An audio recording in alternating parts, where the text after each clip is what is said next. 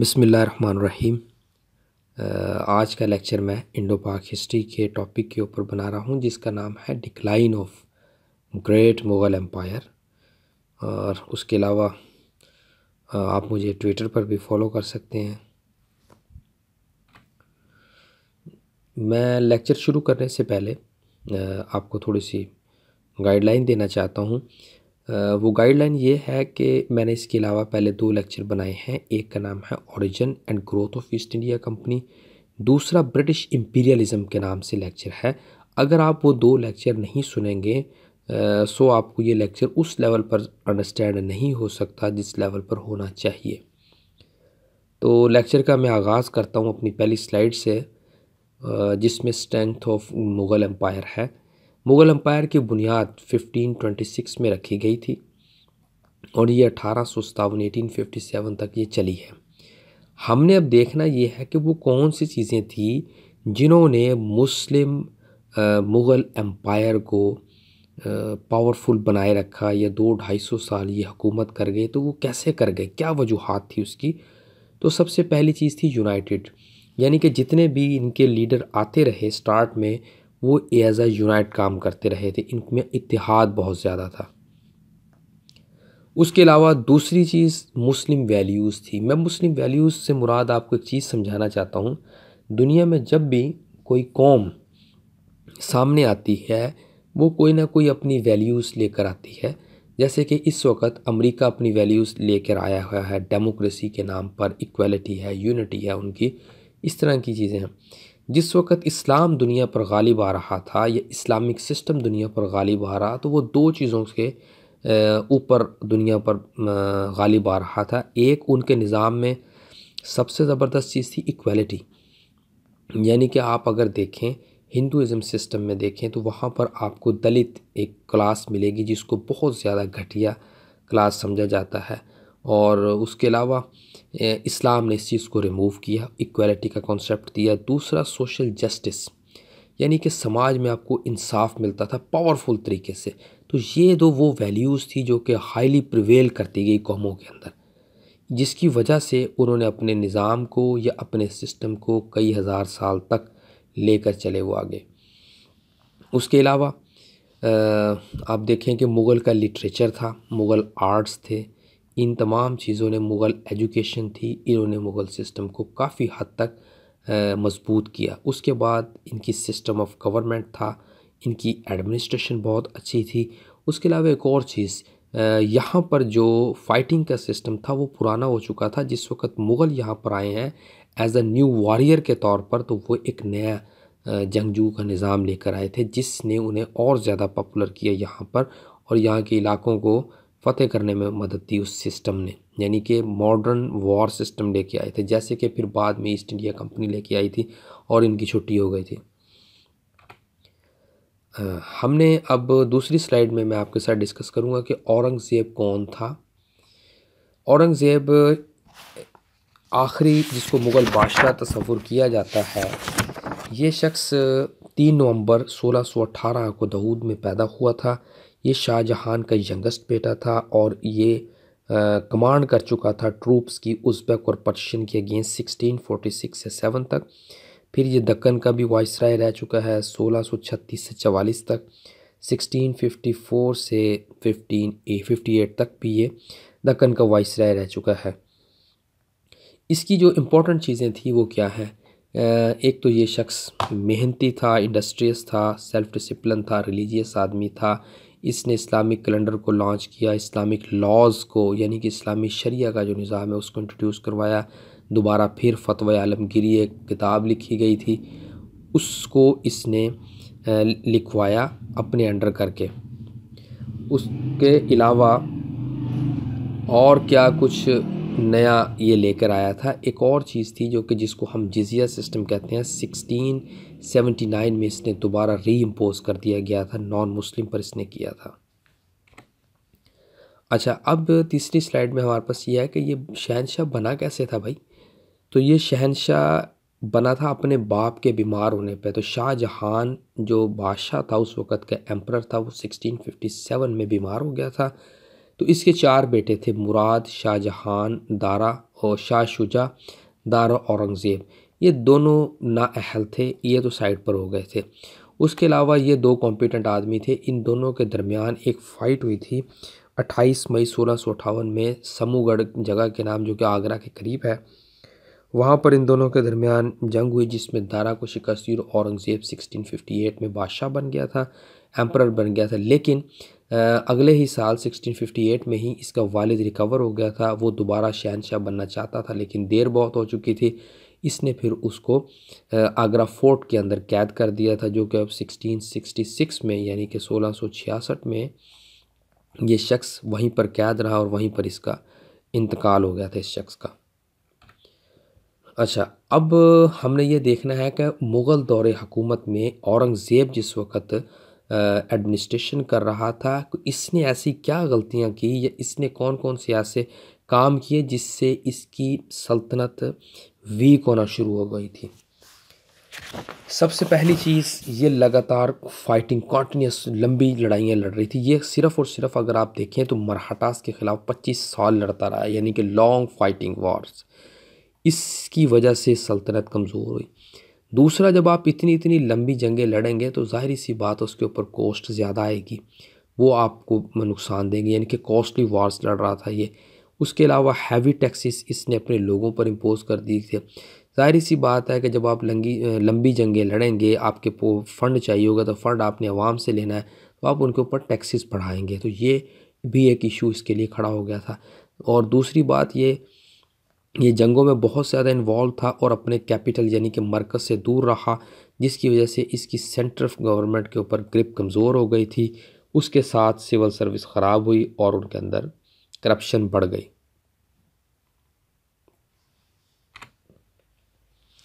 اب ہم دیکھتے ہیں کہ اوورال مغل امپائر کا اس کی اس کی ڈیتھ ہوتی ہے سترہ سو سات کے اندر۔ اس کے بعد اس کی سلطنت کیسے ویک ہوئی؟ یہ ہم نے دیکھنا ہے۔ تو سب سے بڑا فیکٹر تھا ریبیلین کا۔ ریبیلین میں کون کون سی چیزیں آتی ہیں؟ اچھا سب سے پہلے یہ چیز تھی کہ لوکل جو لیڈرز تھے، انہوں نے مغل اتھارٹی کو چیلنج کر دیا۔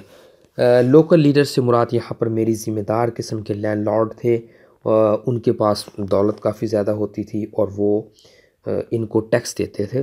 لیکن انہوں نے جب ان کی دیکھی کہ صورتحال خراب ہو رہی ہے تو انہوں نے اپنی پرائیویٹ آرمی ڈیولپ کرنی شروع کر دی اور اورنگزیب کی وفات کے بعد انہوں نے ٹیکس دینے سے انکار کر دیا۔ یہ ایک ان کے لیے ایشو بنا تھا۔ دوسرا لویل پرنسلز پرنسز نے بھی بغاوت شروع کر دی تھی۔ جو ان کے بادشاہ تھے، جو کہ مختلف جگہ پر ان کے نیچے علاقوں کو کنٹرول کرتے تھے اور ایک اچھا سٹیٹس اور ایڈمنسٹریشن انجوائے کر رہے تھے تو انہوں نے دیکھا کہ سینٹر کمزور ہوتا جا رہا ہے تو انہوں نے بھی ریبیلین کا آغاز کر دیا تھا۔ اس کے علاوہ انڈیپینڈنٹ پروونسز کا۔ انڈیپینڈنٹ پروونسز کا کام کیسے شروع ہوا؟ انڈیپینڈنٹ پروونسز سے مراد ہے علاقے کے نواب گورنر ٹائپ لوگ تھے۔ انہوں نے بھی اپنے آزاد صوبے بنا لیے تھے، جس سے مغل اتھارٹی کمزور ہو گئی تھی۔ میں آپ کو اس کی کچھ اگزامپل دیتا ہوں۔ وہ اگزامپل یہ ہے کہ ستارہ سو بیس کے اندر بنگال ایک آزاد صوبہ بن گیا، ستارہ سو چوبیس میں دکن بن گیا، پھر ستارہ سو اڑتالیس میں سول وار چھڑ گئی تھی، اس کے بعد کافی سارے پروونسز آزاد بنے جس میں سندھ، گجرات، اودھ ہے تو ان، انہوں نے جب اپنے آزاد پروونسز بنا لیے ظاہری سے بات ہے گورنمنٹ کی ریٹ چیلنج ہونی شروع ہو گئی تھی۔ اس کے بعد مراٹھا کا فیکٹر تھا۔ مراٹھا نے ان کو بہت زیادہ پریشان کیا ہوا تھا۔ ستارہ سو اٹھتیس کے اندر مراٹھا جو قوم ہے، یہ آگرہ کے باہر تک پہنچ گئی تھی اور دلی گیٹ تک پہنچ گئی تھی اور انہوں نے ان کو بہت زیادہ پرابلم میں ڈالے رکھا مغل امپائر کو۔ اس سے بھی کافی سارا علاقہ ان کے ہاتھ سے چلے گیا تھا۔ Modern day eastern Madhya Pradesh اور ساؤتھ ایسٹرن راجستھان ان کے ہاتھ سے چلا گیا تھا اور ویسٹ سینٹرل انڈیا ان کے ہاتھ سے چلے گیا تھا۔ اس کے علاوہ پاور سٹرگل ہمارا نیکسٹ فیکٹر ہے۔ بلکہ اس سے پہلے ایک اور تھوڑی سی ایک تو انفارمیشن اور میں ایڈ کر دوں۔ سترہ سو ساٹھ کے اندر انہوں نے دلی کو اپنے کنٹرول میں لے لیا تھا۔ پھر اس کو سترہ سو اکسٹھ میں دلی کو احمد شاہ دورانی نے واپس لیا تھا۔ اس کے بعد پاور سٹرگل شروع ہو گئی تھی مغل پرنسز کے درمیان۔ اورنگزیب کی وفات کے بعد آپ دیکھیں کہ جیلسی جیسے جیسے گریو ہوتی گئی۔ تو اس کے سترہ بیٹے تھے جس میں sons grandsons and great grandsons تھے، انہوں نے دولت اور پاور کو آپس میں ایک دوسرے سے چھیننے کی کوشش کی۔ اور اس دوران آپ دیکھیں کہ کیپیبل سولجر مرے پرنسز مرے نوبلز مر گئے۔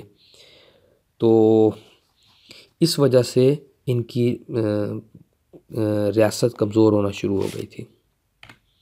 اس کے بعد انویژن ہے انویژن میں دو چیزیں آتی ہیں۔ ایک انویژن ہے پرشیا سے، ایک ہے افغانستان سے۔ میں پرشیا کی انویژن آپ سے دیکھ شیئر کرتا ہوں۔ سیونٹین تھرٹی نائن میں پرشیا سے نادر شاہ آئے، ہندو کش کو کراس کرتے ہوئے، اور انہوں نے who had capture Ghaznavi and Kabul جو کہ پہلے ہی کر چکے تھے، ان کے کنٹرول میں تھا۔ اب وہ مغل کی ویکنس کے ساتھ ساتھ آگے بڑھ رہے تھے۔ وہ دو لاکھ ستر ہزار آرمی لے کے آئے، اور جس میں انہوں نے ریور انڈس کو اٹک والی سائڈ پر کراس کیا اور لاہور پر اٹیک کیا۔ بہت کم لوگ ان کے خلاف، اس کے خلاف کھڑے ہو سکے تھے۔ اس نے اس علاقے کو کیپچر کر لیا، لاہور کو۔ پھر اگلے سال یہ دلی کی طرف بڑھا تھا، جس نے، جہاں پر اس نے محمد شاہ کو شکست دی، جس کے پاس دو لاکھ آرمی تھی اور پانچ ہزار کینن تھے۔ لیکن وہ ماڈرنائز نہیں تھے۔ اس نے نادر شاہ نے ان کو شکست دے دی اور اس نے دلی پر اپنا قبضہ کر لیا تھا۔ پھر اس سے اگلے سال ستارہ سو چالیس کے اندر نادر شاہ نے واپسی جاتے ہوئے سندھ کو لوٹا۔ اور ڈیرہ اسماعیل خان کو اس نے لوٹا۔ اس کے علاوہ پھر اس نے جو ویلتھ یہاں سے اکٹھی کر کے لے گیا تھا، یہ تقریباً سیون ہنڈریڈ ملین دلی سے، اور یہ سندھ کے علاقے سے ایک کروڑ روپے لے گیا تھا اور کہا جاتا ہے کہ اس نے وہاں جا کر اعلان کر دیا کہ تین سال تک کسی شخص کو ٹیکس دینے کی ضرورت نہیں ہے۔ اس کے علاوہ پھر افغانستان سے جو انویژن ہو رہی تھی اب افغانستان سے جو انویژن ہوئی تھی، وہ اس کو روکنے کے لیے، مراٹھا کے فیکٹر کو روکنے کے لیے احمد شاہ دورانی یا احمد شاہ ابدالی جس کو کہتے ہیں، وہ آگے بڑھا۔ تو اس نے مراٹھاس کی پاور کو کچل دیا، جس کی وجہ سے مغل کو ایک تو فائدہ تو وقتی طور پر مل گیا تھا، لیکن اس کے دوران ان کا کافی سارا لاس بھی ہوا تھا۔ اس کے علاوہ یورپ کی کنکیسٹ شروع ہو گئی تھی، جس میں ایسٹ انڈیا کمپنیاں پرتگیز تھی ڈچ تھے فرنچ تھے ان کی بھی جد و جہد نے بہت زیادہ اسٹیٹ کو کمزور کیا۔ کچھ علاقے پرتگیز لے چکے تھے پہلے، پھر اس کے بعد ڈچ، پھر فرنچ پھر ایسٹ انڈیا کمپنی۔ آہستہ آہستہ جو ہے نا، ان کا کنٹرول بڑھتا گیا۔ اس کے بعد naval fleet of East India Company. دنیا میں ایک بڑا مشہور جملہ ہے، کہتے ہیں کسی ملک کی پاور دیکھنی ہو تو دیکھا جاتا ہے کہ اس کے پاس کتنا سمندر زیادہ ہے۔ تو نیول کے یہ جو بیری بیڑے سمندروں میں منڈلا رہے تھے، جگہ جگہ نیوی کی یہ کنٹرول میں میں لیے ہوئے تھے سمندر کے علاقے، مغل اس سے باخبر تھے۔ باخبر، مغل اس سے خبردار، سوری، نہیں خبر نہیں رکھتے تھے مغل اس سے۔ ان کو اتنی اویئرنیس نہیں تھی، جس کی وجہ سے ایسٹ انڈیا کمپنی نے اپنے پاؤں مزید جما لیے ادھر۔ پھر اس کے بعد دلی میں پرابلمس کیا تھی؟ ایک تو ان کی لیڈرشپ ان کے پاس کوئی نہیں تھی۔ لیڈرشپ ایسے تھی کہ نہیں تھی کہ اورنگزیب کی ڈیتھ کے بعد آپ دیکھیں کہ اس کے جو بیٹے آئے ہیں ستارہ سو بارہ سے ستارہ سو انیس کے درمیان درمیان کوئی پانچ لوگ آئے ہیں۔ لیکن آپ دیکھیں کہ وہ فیلور آف لیڈرشپ تھی۔ کسی کو اتنا کیپیبل ہی نہیں تھا کہ اس کو چلا سکتا، اس سسٹم کو چلا سکتا۔ جس میں بہادر شاہ جو ہے، بہادر شاہ ون ستارہ سو بارہ میں آیا تھا، پھر محمد شاہ ستارہ سو انیس میں آیا تھا۔ اس کے درمیان میں نے آپ کو بتایا کہ پانچ ایمپرر آئے تھے اور جہاندار شاہ، جس کو فریولس اینڈ ڈرنکن فول کہا جاتا ہے۔ پھر ایندر شاہ جہاں ٹو آیا۔ وہ بھی کوئی فزیکل کریکٹ آدمی نہیں تھا۔ کوئی اس کی مینٹل ایبلٹی کوئی اتنی زبردست نہیں تھی۔ پھر یہ یشیوں میں پڑ گئے۔ اس نے ان کو بہت زیادہ نقصان پہنچایا۔ اور اس کے علاوہ پھر جب جیسے جیسے ریاست کمزور ہوتی گئی، میں نے آپ کو بتایا کہ ان کو ٹیکس نہیں کلیکٹ ہو رہا تھا ریونیو نہیں کلیکٹ ہو رہا تھا۔ فنڈ کی شارٹیج ہو گئی تھی۔ اور ظاہری سی بات ہے، جب فنڈ نہیں ہوگا تو ملٹری کیسے گریو ہوگی۔ اچھا میں آپ کو یہاں پر ایک پاکستان کی اگزامپل دیتا ہوں۔ پاکستان اس وقت قرضے میں گھرا ہوا ہے۔ ہماری ہر ڈیموکریٹک گورنمنٹ ہمیں اس میں قید کرتی آئی ہے اور ویسٹرن کا ایجنڈا ہے۔ اب دیکھیں جیسے جیسے آپ قرضے میں پھنستے جائیں گے، آپ کا ڈیفنس بجٹ کم ہوتا جائے گا۔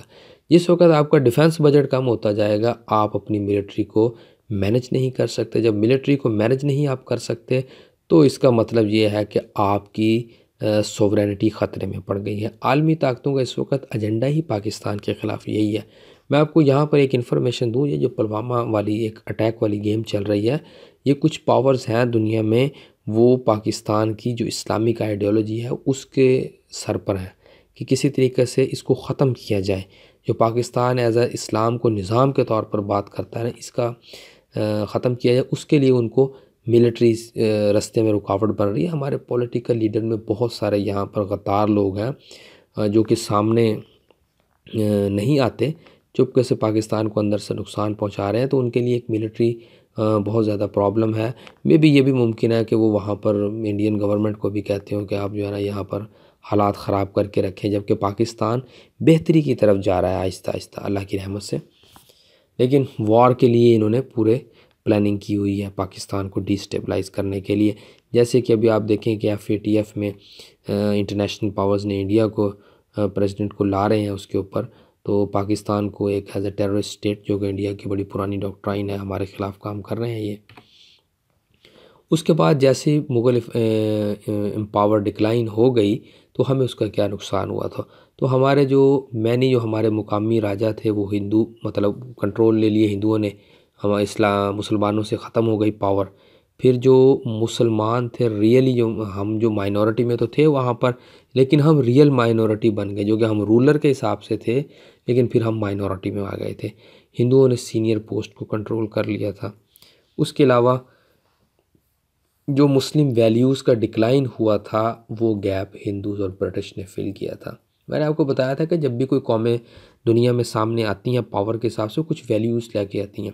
ہم سوشل جسٹس کی ویلیو تھی ایکویلٹی کے لیے کہہ رہے تھے۔ جب ہم نے اس کو سائڈ پر کیا، جہانگیر کا زمانہ بڑا مشہور ہے انصاف کے لیے۔ تو جب ہم نے ان کو سائڈ پر کیا تو ایک گیپ بن گیا، اس گیپ کو ہندو نے فل کیا اور برٹش نے فل کیا۔ اس وجہ سے وہ آگے پڑھائے دونوں۔ سو لیکچر ختم ہو گیا لیکچر کو سننے کے لیے شکریہ۔ اللہ